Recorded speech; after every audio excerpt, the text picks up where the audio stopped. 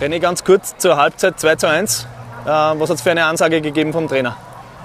Ja, der Trainer hat uns eigentlich gesagt, dass wir einfach weiterspielen sollen, äh, unser Spiel fortsetzen und unser Spiel glauben. Ähm, es hat erste Halbzeit auch schon ganz gut funktioniert, nur leider sind wir sehr früh in zwei Konter äh, gelaufen, das was so nicht passieren darf und dann sehr schnell 2 zu 0 in Rückstand. Aber trotzdem, ich glaube, das zeigt die Moral der Mannschaft, dass wir für ein eingeschworener Haufen sind, dass wir trotzdem weiter unser Spiel durchgezogen haben und unser Spiel geglaubt haben. Und glaube, keiner hat nur eine Sekunde daran gezweifelt, dass wir heute nicht aufsteigen. Und ja, dass wir dann sieben Tore schießen, ähm, haben wir uns vielleicht nicht erwartet, aber wir haben gut, dass wir aufsteigen. Vier Tore von dir. Wäre noch mehr gegangen oder war das schon fast ein bisschen frech gewesen? Ja.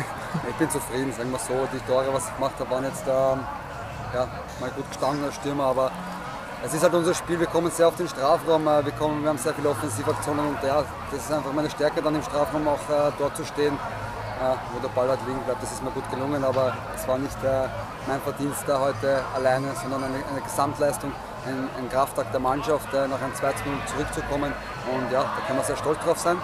Aber ja, wir werden heute äh, uns noch freuen über den Sieg und morgen gibt dann schon die Vorbereitung auf die, auf die erste Meisterschaft, wo ich hoffe, dass viele Zuschauer ins Stadion kommen. Ich glaube, äh, unser Spielstil ist sehr attraktiv und macht viel Freude zuzuschauen. Deswegen hoffe ich, dass wir auch äh, ja, viele Zuschauer haben am nächsten Freitag gegen FCC.